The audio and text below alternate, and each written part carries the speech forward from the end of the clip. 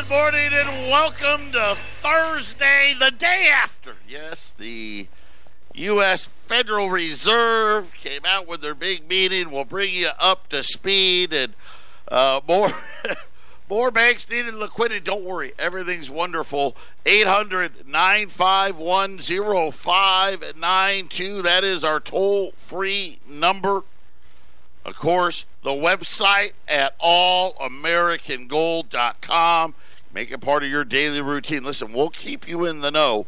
Uh, make sure you head out to allamericangold.com and and uh, so many things. Most of the stuff we talk about on the radio station, uh, we we don't cover on the website. So if you go out to that website, most of the stuff out there are things that I don't uh, talk about because you know it's only an hour. The show's only an hour. You don't have enough time uh, to cover all of the ground that we need to cover. A lot of things going on. I will tell you that even I am, confused. I uh, listened intently to the central bank yesterday. Uh, Jay Powell, they did what we expected they cut rates by one quarter of a point.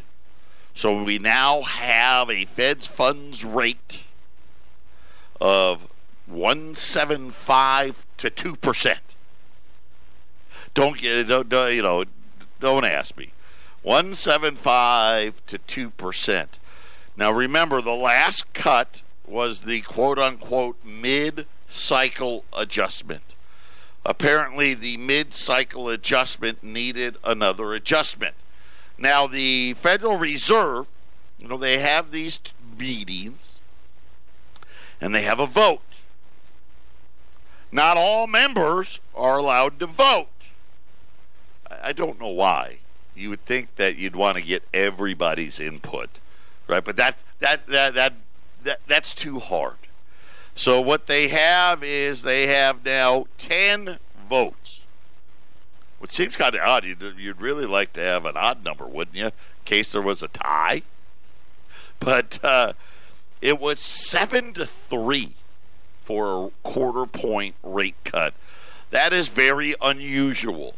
That would we what we people would consider a divided central bank. Most of the time the vast majority of the time, if there is a dissenter, and usually there isn't, but if there is, it's usually along the lines of, of hey, we're cutting rates, and, and a guy says, you know what, I wanted a bigger rate cut. Or if you're rise, raising rates, I wanted a, I wanted what? I wanted a bigger rate hike. In other words, hey, I'm with you, but I just think we should go further. One of those dissenters had that view. In other words, one guy on the that had the vote. So there's 10 guys voting. One guy wanted a 50 basis point cut. Two of the individuals wanted no rate cut. So again, division amongst the central bank, and that is rare where you have three dissenters is unusual. Matter of fact, in in all of the years that I've been here, I think there's only been two meetings, maybe three meetings total. You think about it; they meet eight times a year. So I've been doing this six over 16 years. I know it happened once in 2016, and I think it happened once during the financial crisis, maybe twice. But again, usually the dissenters dissent the same way. Right? This was unusual because you had one guy say, hey, we should have cut bigger, and then two guys say you shouldn't have cut at all, and the other seven guys said, let's cut. And I say guys, you know, uh, bankers, whatever you, you know, whatever pronoun I'm supposed to use. Obviously, guys is not it. Uh, Seven said, let's go with the quarter point. So we got the quarter point. Nobody cared. Nobody cared. Because it was all about what they were going to say. Uh, Jay Powell, was he better than last time? So every meeting now they have a press conference. Remember, that's another change. That started this year because they knew. See, the Federal Reserve already knows, the banks already know. We need to be a lot more nimble. So you think about eight meetings a year. They used to have a press conference every other meeting. And they would only move interest rates when there was a press conference, unless it was a big emergency. Right during the financial crisis, you actually had to move interest rates without press conferences, but that wasn't supposed to happen. See, that made the Fed look bad. So they came up with this great idea of, hey, you know what? Let's have a press conference after every one of these things. Because again, the narrative is getting away from them. And it, they they feel that with these pre- they can control the narrative as uh, you know, as long as they have more of these press conferences. In other words, the Federal Reserve wants to spin, "Hey, we're doing a great job," when we obviously all the data says they're not. Right? They're not. Uh, I'll get to that next. When we get back, though, I'll get into the heart of the matter. What did they say in the press conference? What's wrong with the banks? Where's all the liquidity? And what we can expect next. We're back 800 951 0592. So the central bank, as they get more desperate, and I use that word very carefully because they they are trying to appear that they are not. And what I mean by that is in the press conference, first of all, Jay Powell is not good. He, was it better than the last one? Yes. He does not lie very well. He does not exude a lot of confidence. The reporters that were there, a lot of them are the talking heads that you see on the TV, were actually trying to help him. I mean, the they were, and again, they they're asking questions trying to lead Jay Powell to the right answer, right? Hey, listen, Wall Street's going to like it when you say this. And and that was literally what happened yesterday. They needed to save Jay Powell from himself. I don't know that Jay Powell was any better. But the reporters actually were helping him. Hey, let's clarify. You you kind of meant this, didn't you? Oh yeah, yeah, yeah. Right, sure. Uh-huh. So uh, here's the big things we wonder. One is are they going to keep cutting rates?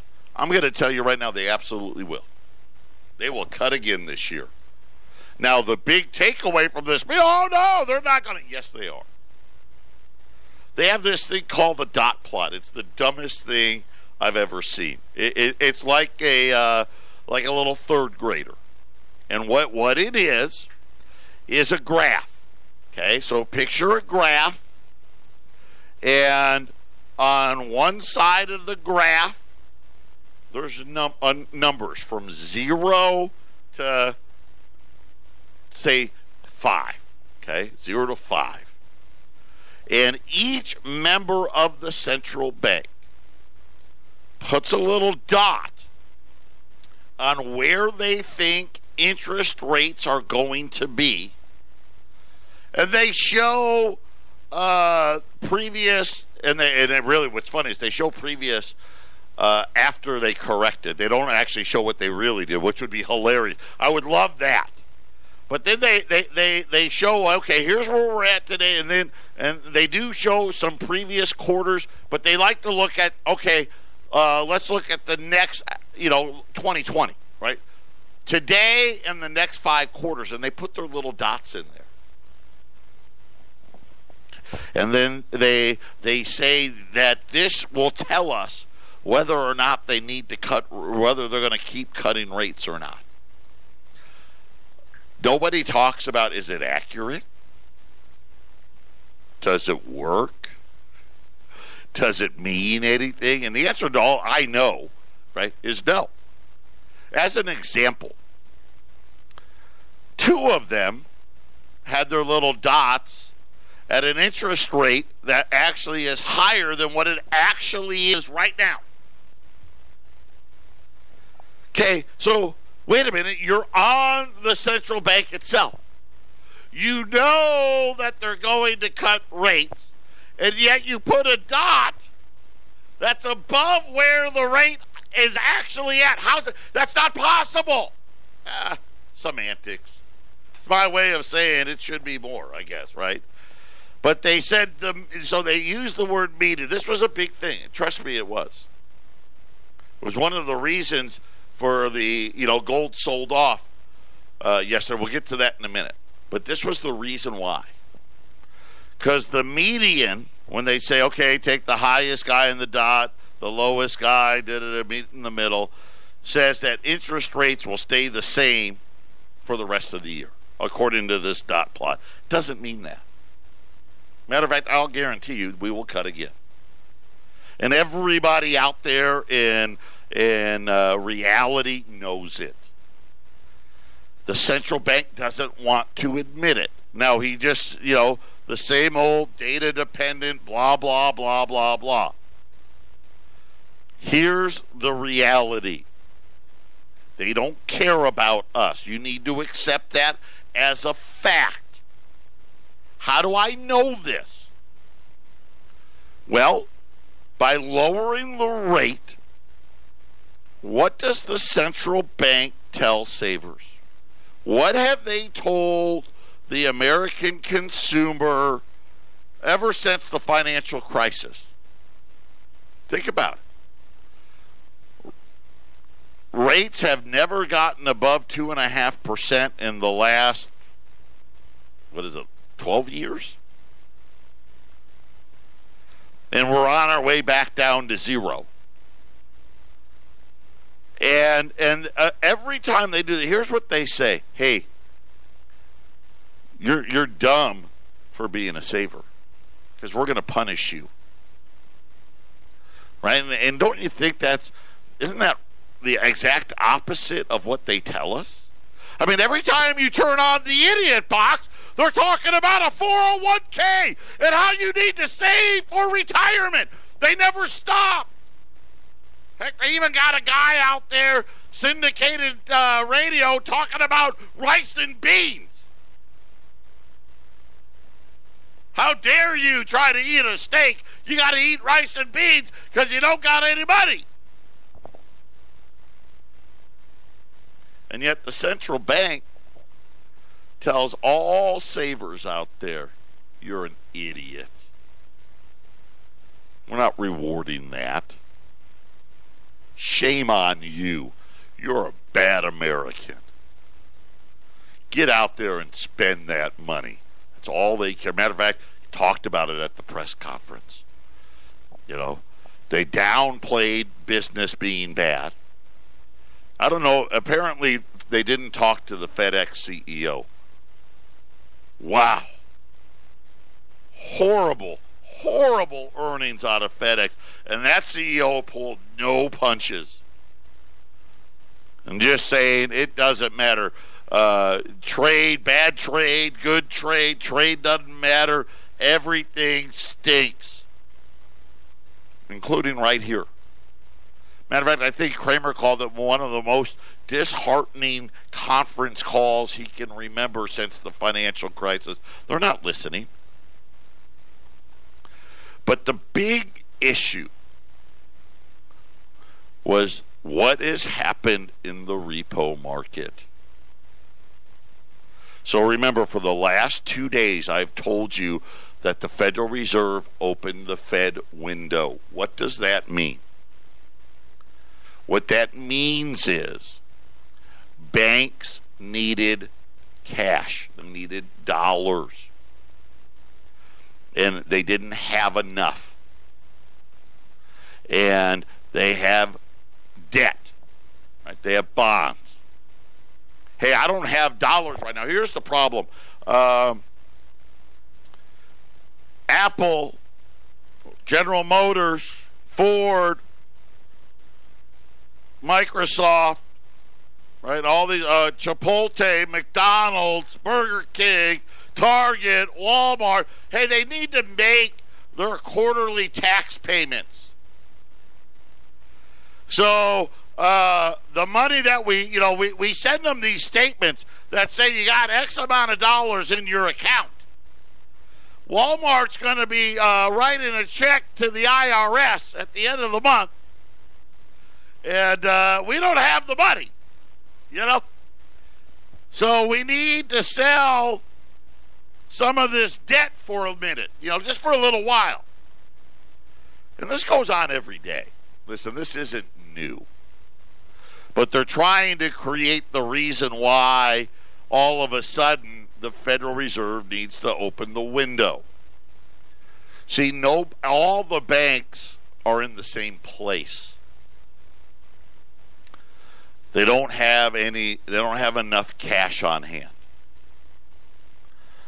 and so the problem is what normally they could have sold these treasuries, these mortgages to another bank. That's how it's supposed to work. Hey, just hold this for a day, and then tomorrow I'll buy yours from you, and I'll hold it for a day. And it's it's like a little game. It's a shell game. And believe me, the fact that it's this complicated ought to tell you uh, what really is happening. The fact that most people in the right mind don't even know what a repo market is. The vast majority of Americans don't even know what's happening today. Dumb down. Good little sheep. Yeah, you're a good sheep. Yeah, you're totally ignorant and naive, and let's just keep it that way. Don't mind. This is banker stuff. Don't worry your little head. So, on Tuesday, by the way, it's a bad thing when a bank needs to go to the federal win to the Fed window. We call it the Fed window. It's a bad thing when they need liquidity. That makes sense. All, all of us know. You know when you're cash poor. hey, I'm, I'm not broke. I'm just cash poor.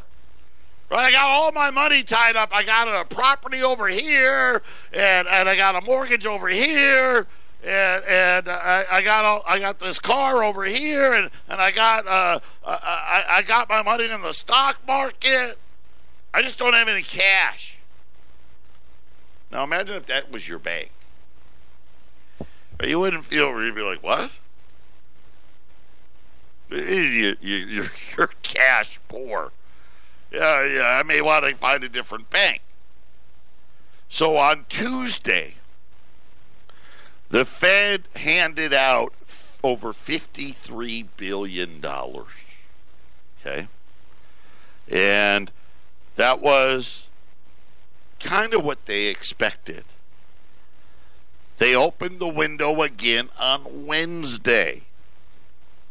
They put a threshold of $75 billion. By the way, I think it was $75 billion on Tuesday. Okay? 53 point whatever billion. Wednesday, a little uh oh happened. Banks needed more than $75 billion. Matter of fact, they submitted over 80 billion. So whether it was one bank, two banks, a bunch of a bunch of banks, I don't know, but somebody didn't get 5 billion dollars of liquidity yesterday. That wasn't supposed to happen. At the press conference, one of the reporters again helping Jay Powell and talking about, hey, banks were warning you guys about this. And I, I actually covered, remember, I covered it here for you. It was an analyst at Bank of America uh, months ago actually sent a letter to the Federal Reserve and said, hey, guys, we're going to have a problem right? They, we, we keep having to buy all these treasuries. Uh, we, we can't keep enough cash. And sooner or later, all the banks are going to be the same. We're going to we got a problem. So they said to the central bank, obviously you weren't caught off guard. And of course, Jay Powell, oh no, no, no, we weren't. No, no, we we knew. And then they talked about the fact that the banks wanted more than what they were offering. And, and Jay Powell said, "Oh, you know that was that caught us off guard, but it's fine. It, it, it's going to be uh, that that's going to be a one-off." Okay, that was kind of his answer. No, we weren't caught off guard, but every nobody thought they would need that much. Which kind of goes back to well, then you were caught off guard. This is how dumb these people are okay? Because they knew, they should have known. They just don't want to believe. See, here's the problem. They rather believe their fake academic datas and formulas that actually live in reality. I'm going to tell you what happened at today's Fed window. It didn't get better. This is the Phyllis Schlafly Report presenting a daily conservative pro family perspective since 1983 and continuing the legacy of Phyllis Schlafly. Now, here's the president of Phyllis Schlafly Eagles, Ed Martin. President Trump is a master at controlling the political narrative. With just a single tweet, he can change the news cycle for days or weeks. That's how he made Democrats jump to his bidding by attacking a handful of extreme leftists for being, quote, a bunch of communists, end quote. Trump's tweets were a natural response to the inflammatory rhetoric of the Squad, a group of four congresswomen known to be disrespectful of the president. In order of notoriety, the squad consists of Representative Alexandria Ocasio Cortez of New York, Ilhan Omar of Minnesota, Rashida Tlaib of Michigan, and Ayanna Pressley of Massachusetts. Just to give you an idea of how they like to spend their time, they held a joint press conference just to call President Trump, quote, blatantly racist, end quote. The famous rookie Congresswoman Alexandria Ocasio Cortez was just as quick to accuse her fellow Democrat, Nancy Pelosi, of racism.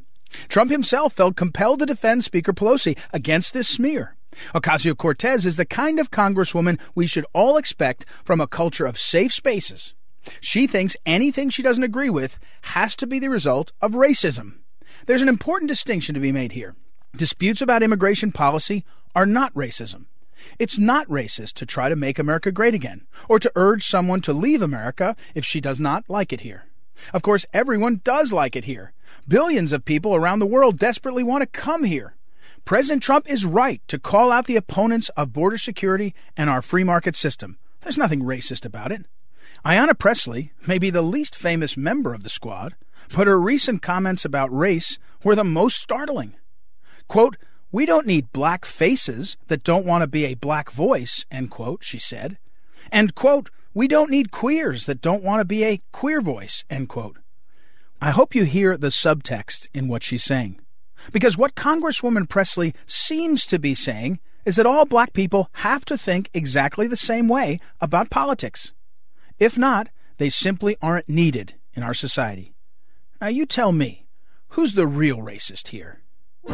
This has been the Phyllis Schlafly Report from Phyllis Schlafly Eagles. Do you like what you see at the Trump White House? Will President Trump continue to advance conservative ideals? At phyllisschlafly.com, you gain complete access to Phyllis Schlafly Eagles news updates and commentaries and can track our work on Capitol Hill. Go online often to phyllisschlafly.com and thanks for listening to the Phyllis Schlafly Report. 800 951 0592. And uh, I'm just watching your news continuing to break here. Uh, now I'm seeing articles where uh, QE could be re- restarted as early as November. We'll get there. Let's get back to the repo auctions. I want you to understand where all of us are forced to put our money. Got to have money in the bank. Can't pay your bills without it. Most people in America can't even get their paycheck without it. By the way, if I ever get time, I'll do that story about all those people that. Uh, did you see that uh, payroll processing company went out of business? Something like almost four million Americans didn't get a paycheck the company sent them the money to put them into their employees' accounts. They just never did it, right? Uh, but anyway, we'll get to that later. Got to have the money in the bank. And the, central bank, this is only the second time that I know that this has happened. Obviously, during the crash, it happened. Nobody, you know, banks didn't want to lend to each other. And so the central bank had to open up the Fed window. And now we're sitting here, like I said, this something bad's coming. And when you sit here and you start seeing these banks lining up at the Fed window, needing liquidity, and nobody wants it, that's a problem. You know that. That's easy to understand. But the market won't price in the risk until what? Until it's too late. Remember when the Dow hit its high last time? It was 2008. The housing crash hit in Phoenix, by the way, late 05. Right? Everywhere else, 06, 07. I mean, they're the last ones to figure it out. And all these warning signs are lining up. So this morning, for the third day in a row, and my guess is the window's just going to stay open until QE comes. The window's open again this morning another $75 billion. And again, what the central bank wants is they want to set the amount, they want it as low as possible, right? Because they don't want people to freak out. Now, how $75 billion a day is, is a small number, I, I don't know. You're talking about uh, you know, it's only five days a week, so you're talking about 1.5 to what 1.7, depending on how many days in the month, trillion dollars a month. I mean, their whole quantitative easing balance sheet uh, was was was was it's 3.8 trillion. Pretty big, but they want it as small as possible but they don't want it to be too small that banks don't get what they need, which happened yesterday. Guess what? They didn't change it. They said 75 billion again. See because they don't understand how big the problem is. This morning it got worse. So yesterday it was 5 billion of liquidity. This morning, it's now nine billion. It, it, oh, it's just it doubled. So they offered seventy-five billion. Essentially, the banks needed eighty-five billion, which means well, eighty-four billion, which means I don't know how many banks needed liquidity that didn't get it today. They're going to open the window again tomorrow. I hope they raise the number. They don't want to. We'll see what happens. Just to break it down $56 billion of treasuries. That number keeps rising. They've got so much treasury debt. That's what I keep trying to tell you. China's not buying. Japan's really not buying. Japan's kind of holding where they're at. China's a seller. It's a small seller, but it's a seller. Right?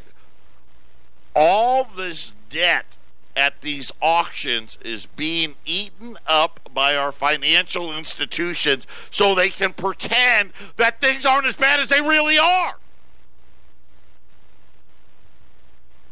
Nobody wants any more. Wake up. So now the banks said, hey, you have these treasuries. The Fed didn't take them all. They only took 55 billion. So somebody, so I don't know, I don't even know. Is it first come first serve? I don't even know how it works. Right again, another reason why we know this is corrupt because we don't. I, I how, why wouldn't I know that?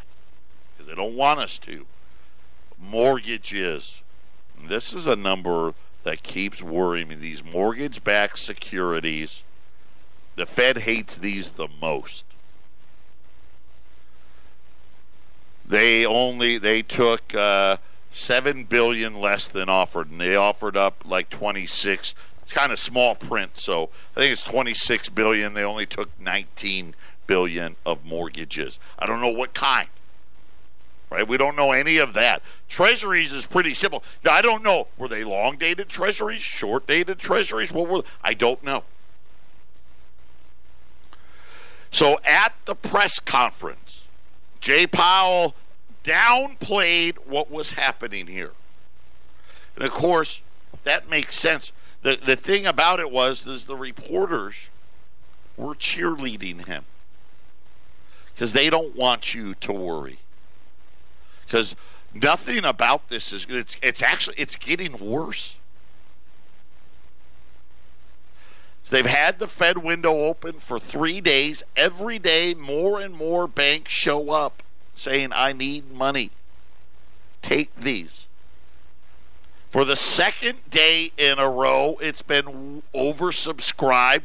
And today, the oversubscription doubled, which means some banks didn't get the money.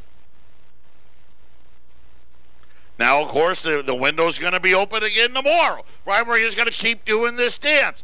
But the, the, the central bank wants you to believe, oh, it's just a temporary problem. Please. It's not like, you know, and they talk, oh, well, you know, and I told you the story. All these companies got to pay their quarterly taxes. Like, that happens every quarter every quarter. This isn't new. Now, if this was something brand new, hey, companies never paid quarterly taxes before. Okay, maybe it's a temporary problem. Guess what? They got to pay quarterly taxes again next quarter. And oh, by the way, all these companies have different quarterly ends, just so you know. I'm going to talk about what he said about QE and what people are saying this morning. Don't touch that dial. 800 951 0592. For those of you that are thinking about it, should I buy gold and silver from this guy? You know, he's, I think most of you by now agree, pretty good at making calls as to what we should expect as far as economic issues go. And I guess I'll give you a, a, an easy one, whether you should or you shouldn't. If you believe in punishing success, in rewarding failure, don't buy gold. Don't buy silver. That's what you believe. If you believe that we should punish success and reward failure. Don't don't call. Don't buy. Now if you think that's only a path that's going to lead us to destruction, you want to call. Because right now, let's face it, we already know Wall Street profits are no better than they were 10 years ago. But they've been rewarding failure right? And that and, so that's why we we've got this inflated price. Look at the bond market. It's such a great one. It's ridiculous. 175 and going lower. What, where's the fire? Where's the crisis? Right? 175 a Fed's funds rate of 175 and any other millennial, any other decade outside of the last two. In the 90s, in the 80s, the 70s, the 60s, the 50s, the 40s, the 30s would have been, oh, Rome is burning and the American empire is collapsing. Now it's a reward for bad behavior. See, this is why we're collapsing is because we've decided to reward the failures. How about all the savers out there? Hey, I did it right. I did what you said. I drank the Kool Aid, man. I maxed out my 401k. Plus, every month I'm putting away uh, money into my savings account and I'm getting ready for retirement and I'm doing it right. You're punished. For the last, what? For the better part, well, for the last 12 years, but for a large part of the last, what, 20 years, they've given you nothing. Nothing for saving. Nothing for your success. They reward the failures. Look at all these banks, and we don't even know how many banks are 80, almost what, 85 billion just today? How many banks are at the, the window with their hand out? Hey, I didn't do a very good job of managing, and now I got a problem. Hey, give me money. Reward failure. Does that make it a better bank? Does that make the bank better? You know, the banks that got to be better, the ones that didn't get the money. Right? And I would, wouldn't you love to know who that was? Wouldn't you love to know, hey, did my bank not get the money yesterday and then didn't get the money again today? That may be a good indication of a bank you don't want to bank at. Guess what, though? You know what's so funny? What, no leaks on that, is there? we never get to know. We need a leaker. That's what we need. We need light, is what we need. So anyway, gold sold off yesterday on the whole dot plot thing, and uh, not going to raise rates, and and as Jay Powell talked, I mean gold went. I mean gold was down to like fourteen eighty five. Started to come back a little bit. Started to come back, come back, come back. Because people started figuring out. Well, first of all, machines were trading. Then the humans started getting involved, and we're like, oh, wait, that, that's bull. That's a bunch of BS. Then he said they'll keep the, the, the, the window open. And then about quantitative easing, here's all that he said. We'll do it if it's needed. We'll do it if it's needed. Here's the thing, and this is what I want you to know. They already know they need to do it. They just don't want you to know until you have to add to the last possible second that we're going to keep rewarding failure. Quantitative easing has to come back, or this Fed window is just going to ha- explode. Because when you look at for three straight days in a row now, yeah, they turn in mortgage backed securities, but that's always in the 25, 26, 27 billion dollar rate and really hasn't changed. You know what goes up every day? How many treasuries the banks want to get rid of. They can't take any more. And now this morning, it just popped out here. Uh, people are now, uh, there, there's a great chart out on the reverse demand uh, that that's going on in the Treasury markets and and talking about Jay Powell and now Goldman Sachs. They said that uh, they're now expecting the Fed to resume trend growth of its balance sheet in November. It is possible that the FOMC will take that opportunity to also reach a fi- finan- final decision on possibly shorting the maturity composition of its purchases, which it discussed in its May meeting. Right? In other words, we're going to buy a bunch of short term stuff and a lot of it. And and that way, right, they they, they think that they're going to get out of it. It doesn't matter one year, two year, three month, nine month, ten years, fifty years.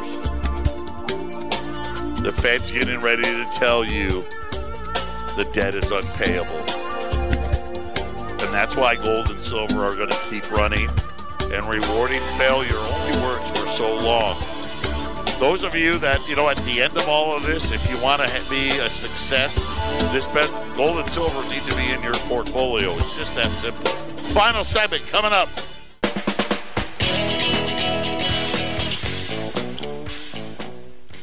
800-951-0592. So gold, which was got as low as 1484, 1485, uh, started rallying back when when Jay Powell near the end of his meeting. I'll just read to you what he said. This was about uh, a little after one o'clock my time, uh, three three o'clock Eastern time. It is possible. Oh, by the way, the the Fed window is going to stay open for market operations for the foreseeable future. Okay. And then he said it is possible that we will re- need to resume the organic growth of the balance sheet earlier than we thought. So at first I'm like, what? You were just selling it off. What do you mean earlier than you thought? Oh, so you knew. You knew the sell That was just fake. Fake. Totally fake.